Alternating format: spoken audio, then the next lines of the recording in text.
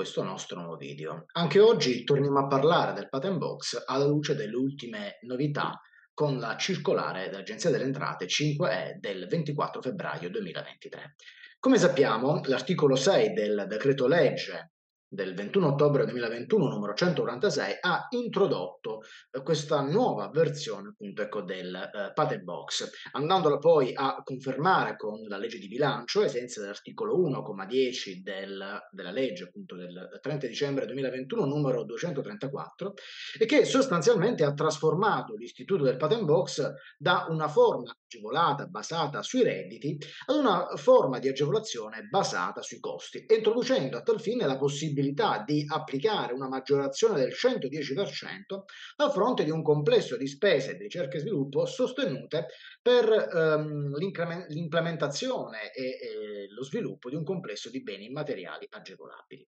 Ora, eh, la disciplina, come sappiamo, ha trovato le sue declinazioni operative nel provvedimento numero 48-243 del 15 febbraio 2022 eh, e quest'ultimo documento di prassi è stato poi oggetto di modifiche e chiarimenti a seguito dell'emanazione del provvedimento eh, numero 52-642 del 24 febbraio 2023 e della nuova eh, circolare, eh, il cui testo eh, sappiamo bene è stato oggetto di consultazione pubblica fino al 3 febbraio 2023. Ora, ehm, la eh, circolare, la nuova circolare dell'Agenzia delle Entrate, assieme al eh, nuovo provvedimento eh, numero 52-642, eh, vanno a chiarire in maniera definitiva un complesso di eh, dubbi legati alla nuova eh, disciplina. Anzitutto viene chiarito il, da un punto di vista temporale l'applicazione del nuovo patent box. nuovo patent box che si applica a partire dal periodo imposto in corso al 22 ottobre 2021. 2021, data di entrata in vigore del eh, decreto legge 146 del 2021, superando così eh, i dubbi legati alla ehm, originaria indicazione della data del 28 dicembre 2021. Ora, ehm, Oggi noi ci concentriamo in modo particolare eh, su, quel, eh, su, quelli che sono gli aspetti di cumulabilità del nuovo patent box con il eh, credito d'imposta in ricerca e sviluppo. Eh, argomento che è stato, eh, come ben sappiamo, oggetto di eh, diversi dubbi di natura interpretativa. Ora, eh, per quanto riguarda la eh, possibilità di cumulo fra eh, i due istituti, come sappiamo la legge di bilancio 2022 ha eliminato il divieto di cumulabilità fra le due agevolazioni. Pertanto, in relazione alle medesime spese, è possibile usufruire tanto della superdeduzione del 110% quanto del credito d'imposta.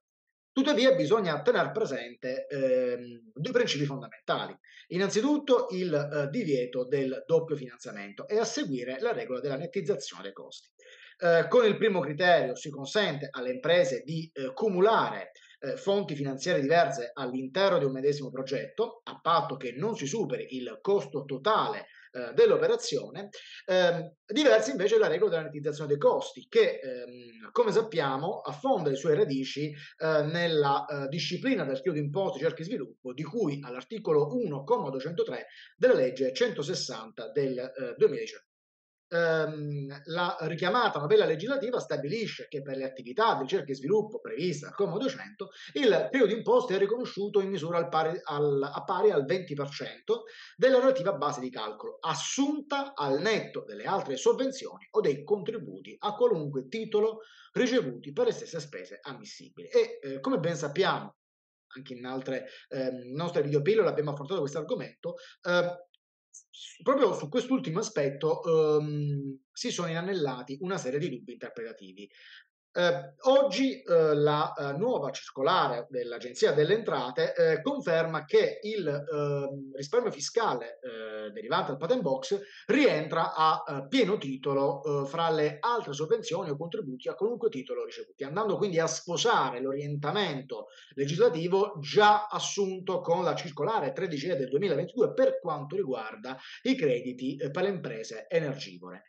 circolare che stabiliva appunto che per sussidio si intende qualsiasi beneficio economico, fiscale e non fiscale conseguito dall'impresa energivora. Eh, partendo quindi da questo assunto, sia in caso di applicazione del meccanismo premiale, sia in caso di maggiorazione di natura ordinaria del patent box, potrebbe verificarsi eh, la situazione in cui l'impresa abbia usufruito totalmente o parzialmente del credito d'imposta ricerca e sviluppo sui medesimi costi sostenuti nel 2020 a seguire. Se così fosse, eh, l'impresa è pertanto tenuta a riversare eh, la quota di credito già fruita corrispondente al beneficio maturato con il patent box senza l'applicazione di eh, sanzioni e interessi.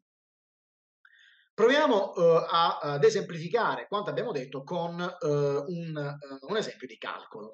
poniamo il caso di avere un brevetto concesso nel 2023 a fronte del quale sono state su- sopportate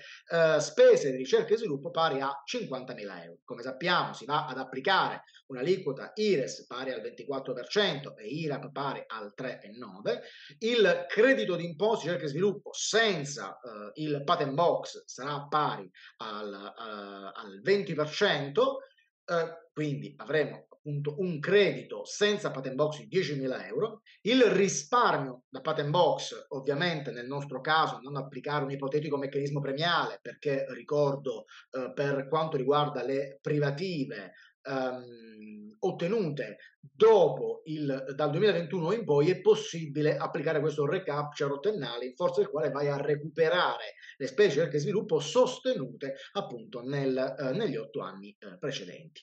Eh, quindi si va ad ottenere un risparmio di eh, patent box pari a 15.345 euro che dovrà essere nettizzato dalla base eh, di calcolo del credito di imposta di sviluppo qualora si volesse optare per un cumulo fra le due ehm, agevolazioni. Chiudiamo eh, ricordando eh, anche un'ulteriore eh, specifica eh, introdotta dalla eh, nuova eh, circolare per quanto riguarda il momento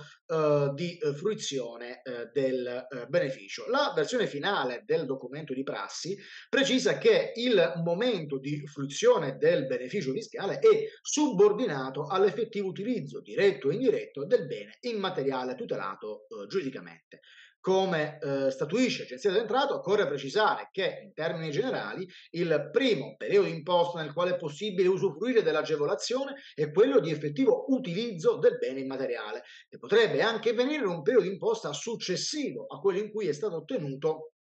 il titolo di privativa industriale. Fermo restando quanto appena statuito, resta inteso che ai fini del meccanismo premiale, quindi del recapture ottennale eh, che abbiamo accennato precedentemente, la maggiorazione si applica ai costi sostenuti negli otto periodi imposta precedenti a quello in cui viene ottenuto il titolo di privativa industriale.